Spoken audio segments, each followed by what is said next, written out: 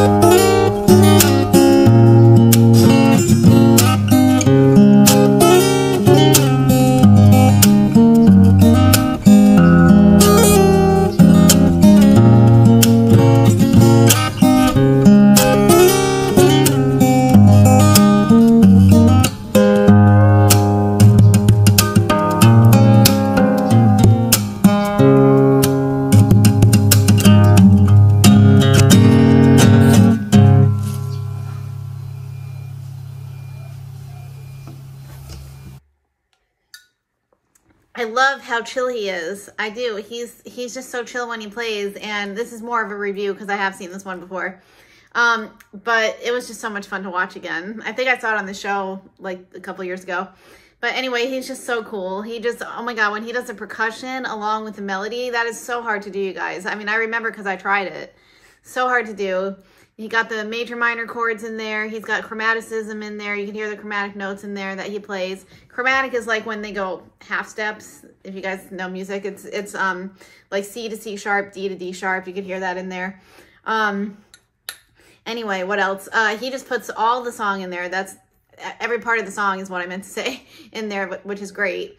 And he's just, oh my God, he, he does the best guitar covers ever. He just really does. And he's just, so amazing and I just love his music. I just felt like listening to him today. Um, I, I, I'm hoping he puts more songs up like really soon. but yeah, he, he's got all the theory in the songs. He's got all the technique in there. His technique is amazing. His guitar technique. I mean, you guys know his guitar technique is amazing. I wish he gave, I wish he gave lessons. I would take lessons from him. But anyway, Kopi Monokopi, you guys. Um, but yeah, he's just, I was kind of letting it cool over there. But he's just, he's just such an amazing player, performer.